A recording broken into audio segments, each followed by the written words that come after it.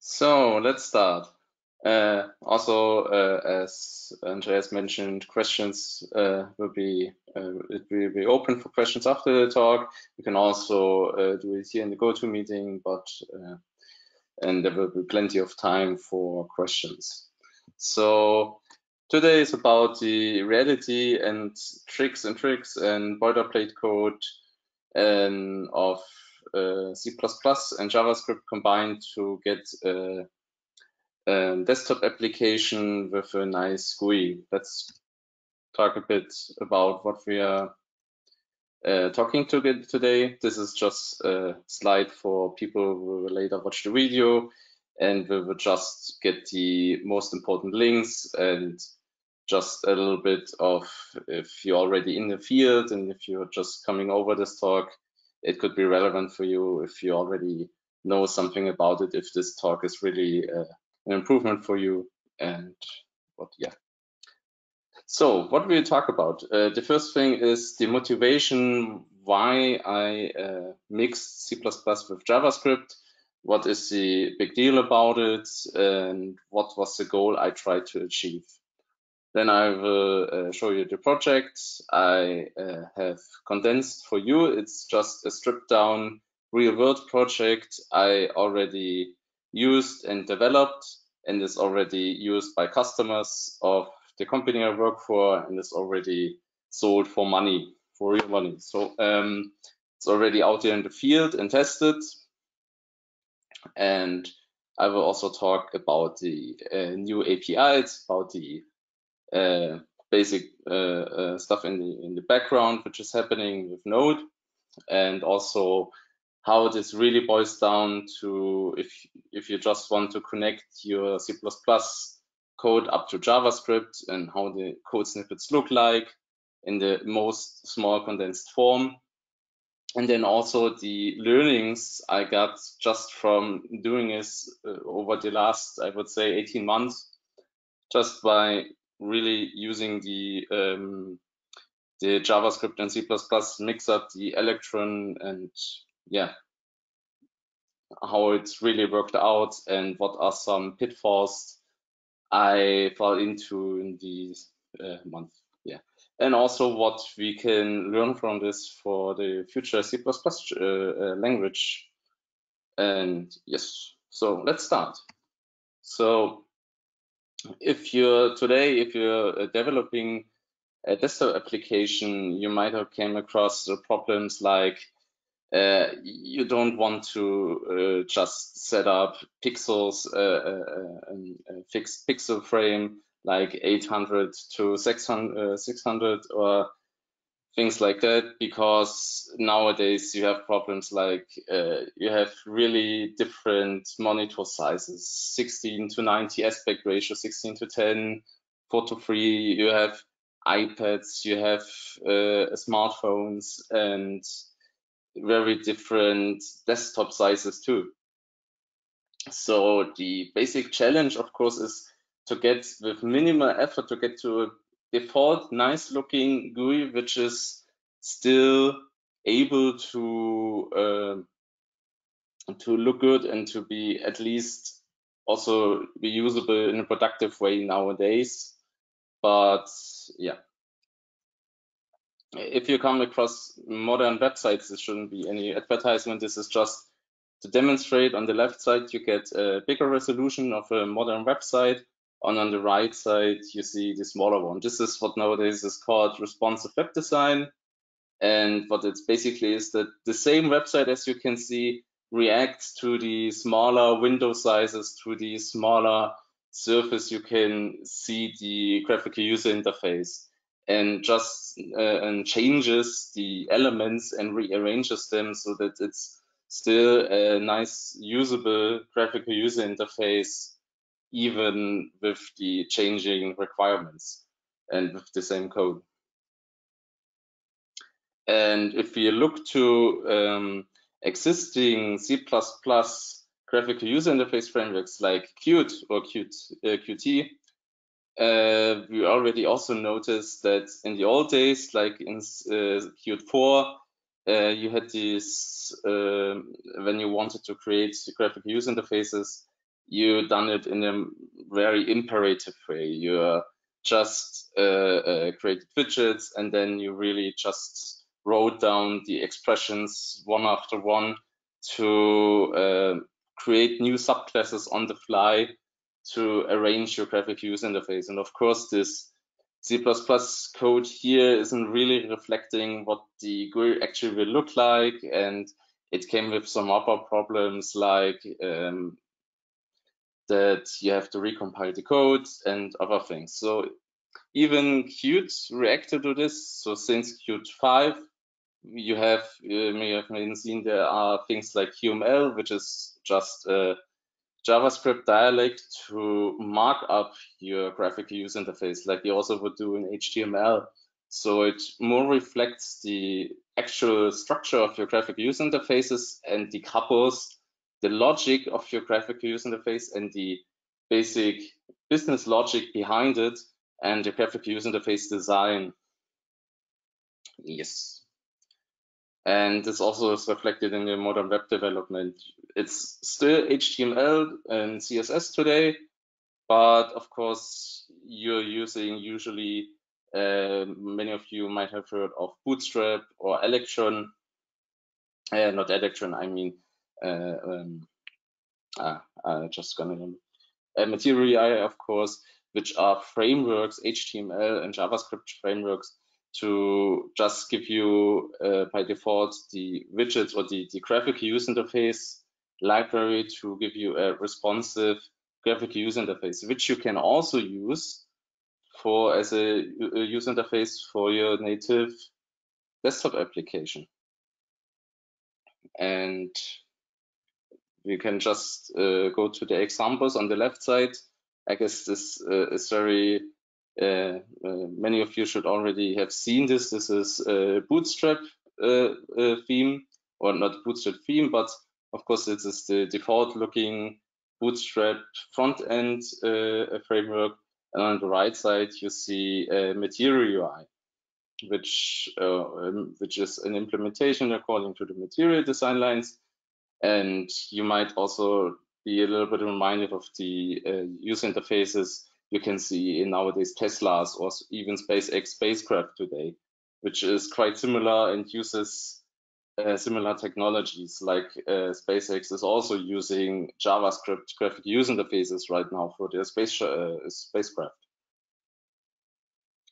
And also another nice factor is, for example, if you have tried to do uh, serverless programming on Amazon Web Services, you might came across that they don't have support, uh, direct support for native languages, but you have to go the way over native node modules. And the technologies I will introduce you today uh, are also usable and are just a, a small uh, part of that to also convert your native code into native node modules, which you can then use in these AWS Lambda products, but I guess also in uh, Microsoft Azure or in Google uh, Cloud, of course.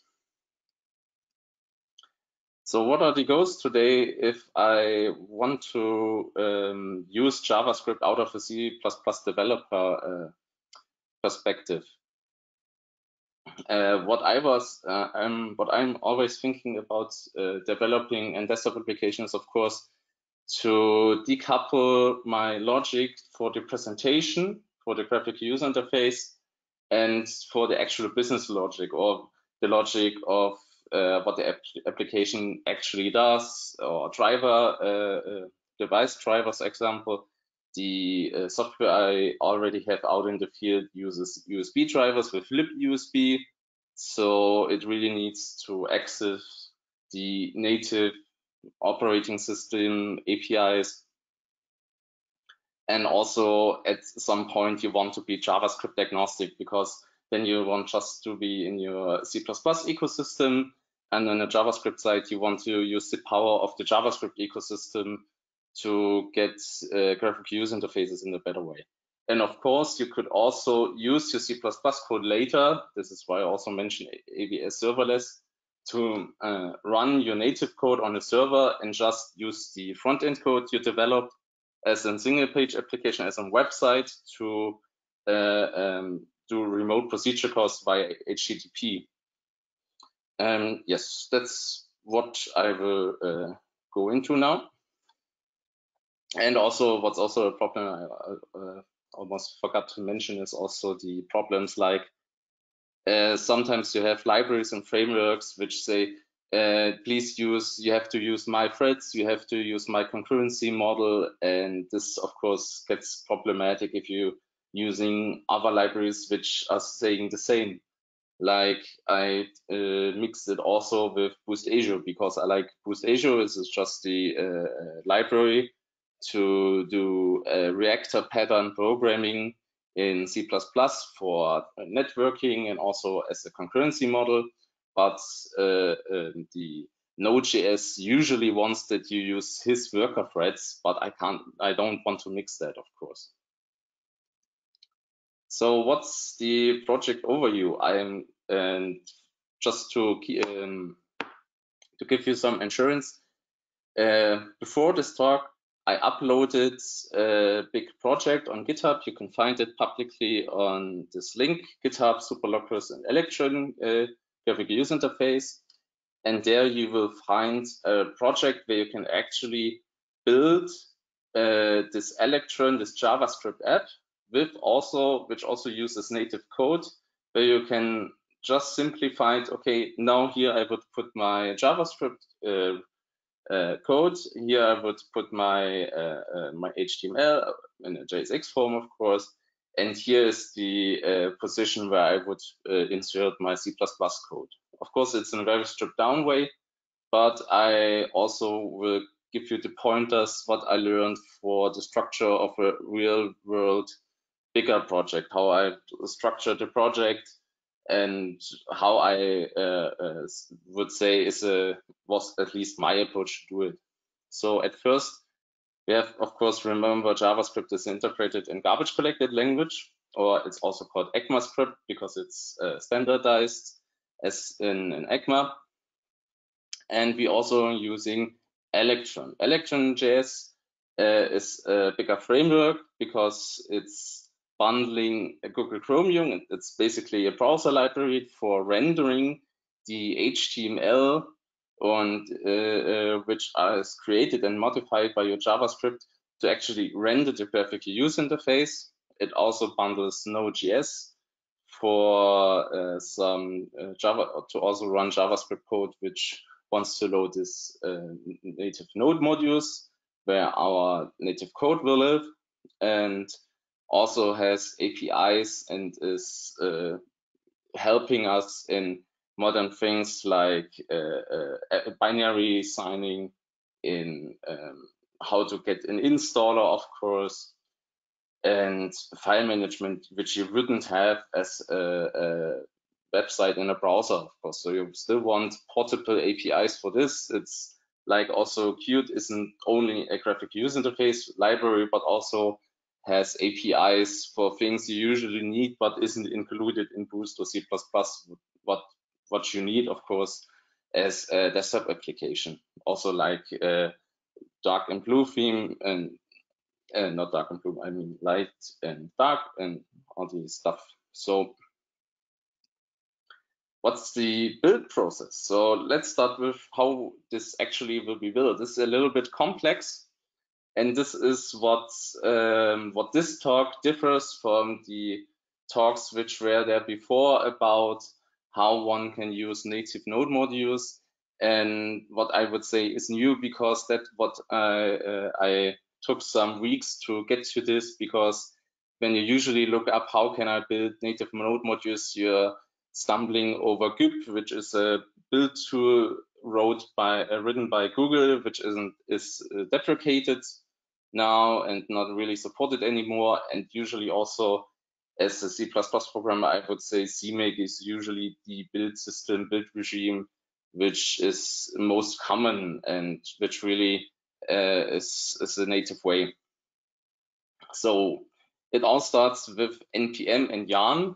This might not say uh, much for the C++ programmer, but uh, npm is a program which comes with Node.js and is this is the central point of all modern JavaScript. development because this is the package manager of JavaScript where all the thousands and thousands of node modules live, where you can just write a package JSON and it will download things from GitHub. It will uh, compile it, run scripts, and uh, uh, help you with your dependencies. And this is where usually the world uh, aligns for every JavaScript developer. So of course, as I said, npm, we have to write a package JSON. This would be the uh, project definition for the parent, for the topmost uh, project definition, where we would say, okay, this is an Electron application. We need, of course, JavaScript front-end dependencies like React and things like this. And also we would put in our native node module there as a dependency. And then our native node module would use CMake.js. CMake.js is just a thin wrapper around CMake, which is just handling the bridge from this npm regime to CMake, which just makes sure that you can that you have the Node.js header uh, available and that your build will be triggered with the npm build. So CMake.js will make sure that your uh, native dependencies actually built, or at least if you have pre-built binaries, is in, in a good way assembled, of course. And of course, for this, you have to write a CMake list txt, which is really much the same as, as, as you're used to. Then the CMake build will be triggered.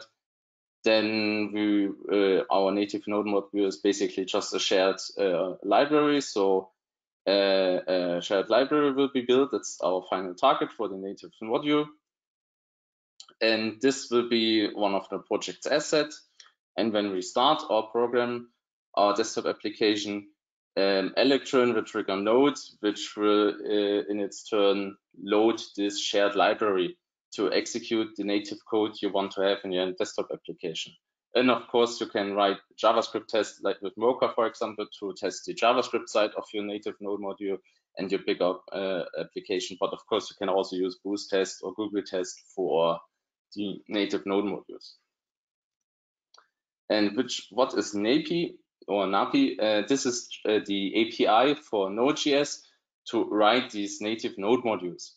There was an older API which is just replicated. So if you read things like you have to worry about libvm or libuv and, and things like this, and this is not uh, the case anymore because Node.js has a new API, which is also ABI stable, which means you don't have to care about which Node module, uh, which Node.js version you compiled it for. It will also run for the other major versions of Node.js, which is a better relief than in Python, uh, if, if, people know, where you have to uh, match the major and minor version at least. Yes, so things also to know. I already told you that uh, the big goal is a shared library, which will then be loaded in our application. And also that JavaScript in the usually way, in the usual way, follows a, a, concurrency model, which many of you might know from Java. Uh, although JavaScript and Java are very different things, but they are the same. There you have one thread which is responsible for the uh, graphical user interface, and of course shouldn't be blocked, and only it is allowed to uh, access and manipulate the graphical user interface. So of course I will also introduce you to asynchronous patterns for your C++ code or to bridge into the uh, async patterns you want to use in C++, of course, like Boost Asio, for example, and other ones to uh, uh, resolve the problem that you don't want to block the GUI thread and also want to have nice, uh, want to avoid things like the callback hell and other stuff. And also lifetime management, of course, because in C++ we aren't garbage collected, so we have to uh, uh, care about lifetime management but of course we want it in a modern uh, RAII resource allocation is, initiali is initialization pattern way. So demo and browse, I thought uh, since this is, uh, let's use the plus points of a live uh, online presentation and take you through the code. I hope the resolution on my system is enough. So that you will see things. So let's start with the stripped down Electron GUI. You can also uh, uh, uh, check it out from GitHub and use it as a boilerplate project for uh, for your projects, of course. It's uh, right now it's an Electron free, but it shouldn't be a problem. So as I said, it all starts with the package JSON. Here we will define what the uh, project looks like, what its name, what its version, uh, where you can find if it's not private, what its license is. But usually if you're developing a proprietary application, of course it will be private. And you will have things like Electron and its dependencies. Uh, because this is really much things to consider. Of course, this is why I uploaded this boilerplate code, but I will uh, give you pointers about the interesting things and which are important. For example, here you will find the dependency Spielwiese. This is where the actually native code I uh, uh, made for a demo lives. This is just another Git repository, but you could also push it in the npm uh, repository and then you can just put it here as, as the other ones. But usually when you're writing your own application, you don't want to share your uh, dependencies with the whole world, but you have you could put a, a Git repository only accessible from the intranet in your company, of course.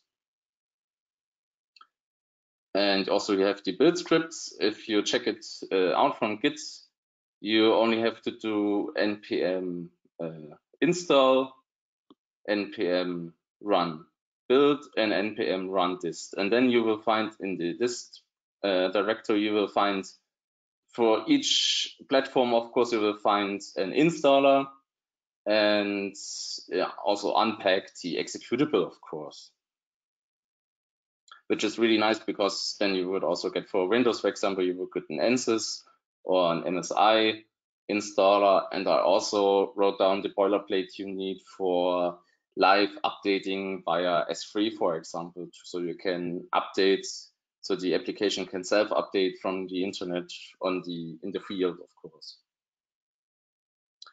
So the bigger structure you can see apart from this package JSON is that after you run npm install, you will have a big uh, uh, folder at node modules, which is very big and have much dependencies where also your native module would be loaded and compiled in.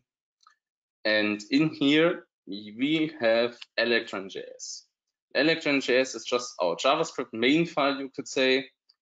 And apart from other things, no, it's not Electron, uh, I'm sorry, app.js, of course. And the most important thing here is, here is where you would put, for example, your HTML. Of course, you could also strip down this. This is just uh, if you want to uh, use React and also want to use Redux. It's all things uh, only the I would say intermediate, at least intermediate JavaScript developer would know, but what usually wants to use because modern web development is also has its pitfalls and uh, things like React and Redux are common libraries and frameworks which are used but in this return, there could uh, could only be uh, could also just be a div, and in this div there could be hello answer. So you would see hello is just HTML. Uh, this is HTML in JavaScript. Might of you wonder since when is HTML allowed in JavaScript? This is also uh, transpiled from JSX. It's a, a, dialect of JavaScript, which just allows that you can put in HTML like this in uh, JavaScript. But uh, apart from that, it's ordinary JavaScript, of course. And here you can see this answer is loaded from our native module. This is what actually comes from our native code, so that this hello should be hello world actually. So let's just execute the application. I already did. Oh, here it's not the case. So let's let's just. So you can see now it reads hello world. So it seems to work. And what it does is that world is getting uh, is we get word from a native module. And all you can see here in the JavaScript world is that we use window require. Require is a command many might know from Node.js and Spielwiese, which just say there's a dependency with that name and there will be a shared library with that name. And JavaScript and the boilerplate code here will know that uh, it there will be this uh, shared library in the application's root, which it can open. So let's look in the native code. This is the dependency I talked about. So it also it has to be JavaScript aware because here we are uh, on the edge of the JavaScript C++ world because this is in in itself is a, a Node.js native module. So it has a package.js which also say this is a small dependency and it uses CMake.js and Node add-on API, and that this will be its uh, shared library, which we uh, should be compiled into the project and which will be used. And by npm install, will also trigger to compile. So as I said, we also have a CMake uh, list. Don't be alarmed by this big function here. This is just code you can uh, get rid of which is just there to get CLion's insight capability. It's just basically it's only for my IDE to make developing easier. But uh, what's really important is the usual CMake uh, uh, uh, boilerplate code, which uh, with some uh, variables CMake.js will replace and this is just the include directory for the header of Node.js, so you can uh, build uh, against the API.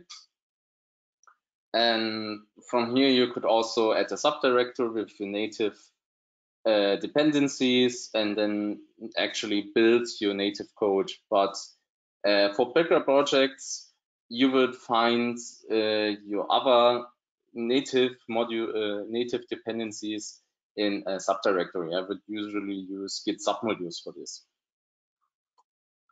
So, and what does this project look like? This is all you need for this simple case, of course. It's a very simple case in this. Uh, in this, uh, we only include an API, API uh, header, which is a C++ wrapper for the C API developed by the Node.js project. And what will actually happen is when the library is loaded, we this init uh, method will be called, or function will be called. And here we uh, just declare what this what this module exports, what what you can call from the JavaScript world. And as you can see here, we are registering under the key hello a new function. And this function, the non-saying name of method is this one, which just gets this info uh, and returns an API string, which is a JavaScript string in the C++ world, a representation of that. And here we will say, okay, return a JavaScript string with the value C++ world value of world. And as you can see, this is actually done. So we have a demonstrator for the very uh, simple use cases. But as you can imagine, this actually blocks the graphic user interface. And also we haven't put in some com more complex data types into the uh, uh, native function. And also we haven't gotten out complex data types in return, which usually is where things are getting interesting. So uh, what's next? So yeah, as I uh, already said, dependency management is key, of course. In bigger uh, uh, projects, I would suppose that you have usually three repositories at least. Your parent repository where the JavaScript and the, the first second uh, master Patrick microphone and also uh, another one where you bridge the, uh, the JavaScript world into the C++ world, and where you would have Git submodules for your native dependencies, which are usually not JavaScript or NPM aware, which don't have uh, a package JSON, of course, and also you want to get from from anywhere. And so I would uh, put them in there and then you can develop in your uh, usual C++ world and I will also show you how to uh, what's the case for uh, oh, yeah learned pitfalls also uh, uh Node or Electron is very picky about it handles the loading of the shared libraries. Uh, if you have statics in or globals in your code, which are of course evil, but sometimes, for example, in my case, uh, when I done, I have to control a USB device. And the USB device, usually only one process on the computer which is connected to your USB device should claim that USB interface and you want to make sure that you have one exactly one state in only one part of your application is trying to uh, speak with your USB device. So that so you you got to have some kind of global or at least where you can make sure that even if Node.js is reloading your shared library often in the lifetime of the whole process because uh, that's how Node.js works, unfortunately.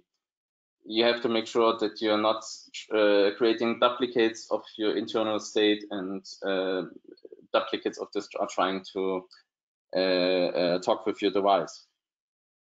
So I try to use a global only for this, but uh, in C++, you might know that if you have more complex data types like std map, more complex containers, that you have an initialization time before main function is actually called, which is called dynamic in initialization in C++ standardese, which just means that uh, uh, the uh, it's uh, for if you have a static global std map uh, or unordered map needs some code to be run before the application can start. And there's when I run into some crashes and problems when I compiled it with Microsoft Visual Studio 2019. And I'm still not sure if it's a problem of Electron or of Node.js or of the NAPI or of me, I'm not sure. So I learned that I have uh, that I have to use uh, static local variables. So you can still uh, write functions with a static in the, in the scope, which uh, since C++ 14 or 11, I guess, will be static, but it will be created when the first uh, uh, execution of that function happens. And of course, the usual problems if you're developing portable, usually you miss some headers on the other compilers and also the exception handling is key. So let's get into more into the uh, deeper problems if you have actually projects and if you want to convert it. Uh, for example, um, the, the nice thing about the NAPI is I wrote some uh, extensions to use uh, to uh, make it easy to get data from JavaScript into the native code then return into the GUI thread again because uh, GUI thread again because uh, you don't want to wait there until your native code uh, is done. Usually, and your, your native code would, for example, post this execution into a queue like uh, you would do with Boost Asio post. So you would uh, get it to one of your worker threads. And after this is finished, you would call a callback in your native code, for example. And this callback has also to has first to convert your Java, uh, your native data into JavaScript data, and then it also has to get back to the uh, GUI thread from JavaScript so that the value is actually resolved, like we have promise semantics or uh, coroutine semantics, of course and I uh, extended the uh, C++ wrapper maintained by the Node.js project to make this easy and to also uh, be sure about the lifetime handling in a nice way. And um, this is how you could uh, could use it in a, in a, small way. You would have the callback info. This is where you will get the parameters from the JavaScript world into your native uh, code on any, uh, which is uh, uh, yeah, which can be undefined or null. I mean, the undefined by the JavaScript world, of course. And then you would just say, okay, I want to create a promise. And then you can use the one of the two classes I added where you can say, okay, this generic callback wrapper is there to uh, uh, return this value type. The value type would be a C++ native struct, for example, or data, which uh, the internal callback, the native callback would like to return. And I also have to give it a function for later, which will uh, convert this native data back again into the JavaScript world. But this conversion uh, function also has to be called in the JavaScript thread, of course. And here you could also, in this function, you could also throw an exception would be, which would be automatically converted to a JavaScript exception so that if you have an exception in your native code, it doesn't will crash your application, but you will get just an ordinary JavaScript application in the JavaScript world. And so this is basically the small boiler code. And until the linked pull request I mentioned gets merged, it's not in NAPI until uh, until then. But you can also find I also linked you the, the definitions of these uh, uh, of these wrappers. So you could also just put in these two header in your project and also already use it, which also have the uh, nice things that it's already C++ 17 aware. Because otherwise you would have to use things like NAPI thread safe function, which would be the ordinary way to do it, uh, which I guess all your people don't really want to do. So, and also this is basically for the case where you have JavaScript code. I also had, uh, here. I also wrote, uh, as you can, uh, I'm, I'm, as you can see, you could use this wrapper in such a way that you could uh, wait for the promise, or as JavaScript already has coroutines, and coroutines in JavaScript, like JavaScript coroutine await, is just to wait on the promise. Uh, the usage of this could just look like this, that you use the callback wrapper and uh, just await on the uh, uh, return statement of the native code. But internally, you could use any async regime you want. You could use some very obscure threads and call it from some uh, kernel or, or, signal handler uh, uh, and still it will get resolved in a good way to the JavaScript. And yes, let's get back into uh, here it is. This is one of the problems I learned also what I learned is, oh, this is missing from the uh, slide, but it's also important that although Yarn is a package manager which is newer than NPM and was especially created to uh, be the better NPM package manager, right now uh, Yarn has some problems with Git submodules. So at the moment, as I said, usually I would uh, uh say uh, put your native projects which aren't uh, npm aware as a git submodule, Yarn wouldn't care about checking out git submodules at the moment. I think it's an open issue if I recall correctly, but uh, it's not foreseen when they will fix this. So one of the small problems, of course, but uh, uh, except from that, you can still use npm and then it will work and also the C++ Outlook, we are coming to, to the end. is that I learned that I'm really happy that uh, coroutines will come with C++20 because usually in my native code, I'm doing a lot of asynchronous programming with Boost. And coroutines, of course, would make this code look a lot less ugly.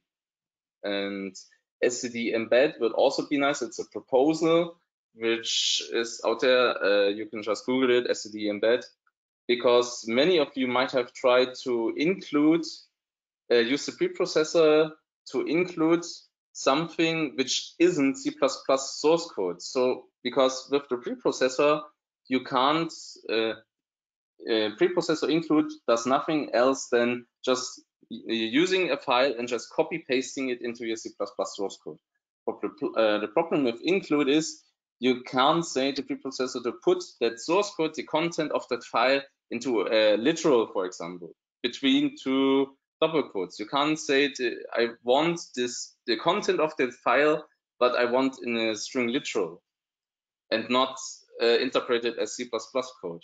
And why would you want to do this? For example, uh, if you have done graphical programming and have shaders, for example, which is C, C++ like code, but isn't for your C++ compiler, but you want it in your application to be later uh, be sent out to the uh, graphical API to your graphics card. So it will compile, it will be compiled for your graphics card as a native code for your graphics card. You can't put it in a nice way into your code. You can't say, okay, uh, here I will get the code for for my shader. And I had the idea to use to pass JSON schema via the compiler to, or at least to put it nicely in my C++ code to also make sure that the JavaScript structs we get into the C++ code uh, that I don't even have to write these conversion functions and that the, uh, uh, things like if a variable has to be between five and ten, or has to be has has had to have the the, the sub things that it would be automatically checked at compile or at runtime. And also, of course, Redux is a nice way of thinking. It's uh, it's a Flux implementation. Might of you might know, which is nice for graphic user programming because it's a nice way to uh, um, organize the state of a graphic user interface applications where state tends to be to, to be everywhere and to be a big global mess up or in the Qt way uh, i would say where everything is signal slotted connected with everything. Uh, redux is a very nice way to uh, for for many applications which might even some other c++ application could learn from but yeah, that's just my two cents. And yeah, I guess now we can get to the questions and answers. And thank you for your attention. Thank you, Markus, for talk. Did you have any problems with updating the Node.js versions, or is it? Uh, no, not not Node.js, but sometimes with Electron. I updated it once from Electron 3 to Electron 6, which I ran into some problems. And Electron 6, of course, also updated Node.js, but it's usually more how Electron changes over the time because, uh, as you might know, the JavaScript ecosystem has much smaller major uh, development times than in C++. I mean, by major development times, I mean much smaller lifetimes of major versions of a library of a project than in C++. And it sometimes gets into hassle. Uh, the boilerplate code I showed you is Electron 6 ready. I recently tried to port it to Electron 10 and it was just a small issue, but other from that, everything uh, seems fine. It's just that sometimes the Electron Node.js integration changes, for example, and this sometimes gets a headache, but the nice thing about the npm, the package JSON, the package lock I pushed into GitHub is that it should be guaranteed that it works on your systems at least, and then you could upgrade it uh, in an easy way. And I don't use any deprecated APIs which were deprecated at Electron 6, for example. So yeah, but it sometimes gets uh, is a hassle if you just want to upgrade. Electron 6 is, as far as I know, still uh, still uh, supported because it's only, I guess, 12 months old, if I'm correctly. But as, as you know, in, the last 10 months, we already have an increase of major version 6 to 10. And but I could still stick on Electron 6 and could use any uh, recent JavaScript li library. And that's or React library, of course, which is very nice. Okay, and there's a question in the chat. Um, how is performance and responsiveness of the UI compared to native That's UIs? a good question, and I, uh, as I uh, use it with a USB device, I use a native timer in 50 milliseconds intervals to just pull the uh, actual state of uh, the, the, new state of my USB device and then convert it and display it in the JavaScript. And I have no performance issues with it. It's responsive as a Qt app would be. And on uh, my laptop, I used for this is a, a laptop from 2010 and I don't even come above the 1% CPU usage. And also the, the RAM usage is also only in the hundreds of megabyte and not because many people, when they hear JavaScript in Electron, they hear like Microsoft Teams in Slack, for example, also implement, Slack I'm not sure, but Microsoft Teams, for example, is implemented also in Electron. And there are memes already out there how uh, uh, memory, how the memory usage of Slack and Teams can explode. But I would say this is more a problem of bad JavaScript and React usage, and I didn't experience it, it with uh, my application. Okay, thank you for answering it. Um, there's another question by Georgie. Is it worth the effort? Uh, why not use TCP or RPC sockets uh, with FlatBuffers protobuf? So I guess to communicate between the UI and the uh, C++ code. Ah, with the C++ code. Yeah, the problem is that I guess you have to use uh, network uh, uh, APIs and you still have the boilerplate code. Yeah, I, I really don't like it because then how do you package it? How do you package and sell it to a customer that uh, you have two processes into this application and then they might might have some trouble that it will be looped back on the port of this machine.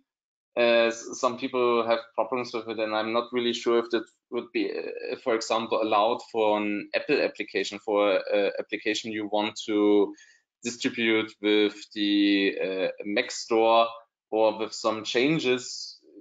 My design could also be used for an iOS application, for example, and I guess you could run into some problems there. But of course, basically what you're doing between the C++ and JavaScript world is uh, what JSON is for. You're converting data from JavaScript to into the C++ world. But for example, functions are things which are, of course aren't there in, in JavaScript in JSON.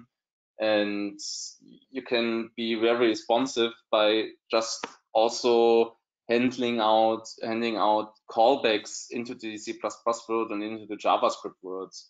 And yeah, maybe that's also the reason why I don't have performance problems, but I guess yeah, I'm I'm not sure how the loopback way would work, but an interesting thought of at least I would say because I also problem sometimes is that if, if you're looping back it to, to, to, to a port, for example, TCP connection, you would have problems also if your uh, application runs in a, a multi-user world and you might not be isolated per user anymore, or you need escalated uh, you need privileges uh, to to open this loopback port. I'm not really. I have yeah, I have some doubts about it, but it's still a good question, of course. Uh, at least if you want to to also put your JavaScript code just as a website and uh, run your JavaScript code on some server. Okay, then thanks for the question. Um, there's another question from Dave. Um, you motivated the JavaScript part very well, but uh, he wonders what advantage the C++ backend has. Uh, is it just for performance, or would any other language also cover the advantage of both mm, worlds? It's, so. Yeah, it's, it's it's a good question. Um, um, I like it's it's because I like C++ and uh, especially I want my business logic in C++ in a strongly typed and also compile time checked language because I, it's it's really nice for me that um, if I wrote down a class which checks this and checks that and also do template magic, that I can avoid many pitfalls which I otherwise will only uh, encounter at runtime or worse in the field on the uh, which my customer will of course encounter when he runs this branch of logic which will be touched only one one day in, in a thousand days. And that's the reason why I don't want to use JavaScript or even TypeScript for for my business application. And also, usually I have some native uh, uh, dependencies because, yes, for example, uh, Node.js has a libUSB integration, but there are some corner cases where you can't uh, utilize this libUSB integration, and usually also you might have some native code uh, which you want to run which hasn't a Node.js integration. And want to use dependencies or have have to do big heavy lifting with computing. It's just that uh, my perspective, I prefer C++ for actually tackling the real world problems for, for the for the simulation and for the logic because I think the, the, the stronger type system helps me there to really sort out most of the problems at a compile time and also to have better structured, more readable code, for example. But yeah, that's of course really depends on how you want to develop things. Of course, TypeScript is also a nice thing because it's at least uh, more type than JavaScript. But for me, it's just best of both worlds because JavaScript, I want JavaScript to be so loosely duck type as Python because in, when I programming graphical user interface code, uh, it's it's really more like okay, I, I will try this out and uh, types change and APIs change, and then I will see if I have done something wrong on my application. And it also uh, makes sure it's uh, that I really decouple my presentation layer, my graphical user interface uh, uh, logic from the actual business logic, like scientific simulations or device logic.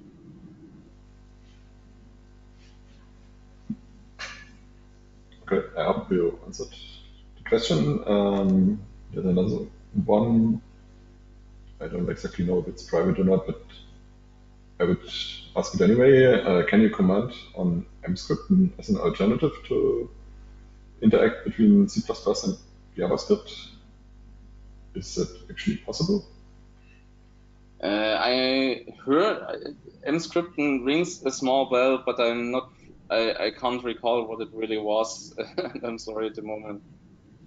What I recall is that Emscripten is a part where you compile C++ to asm.js or something like that, so you can run it in the browser. Ah, uh, ah, yeah.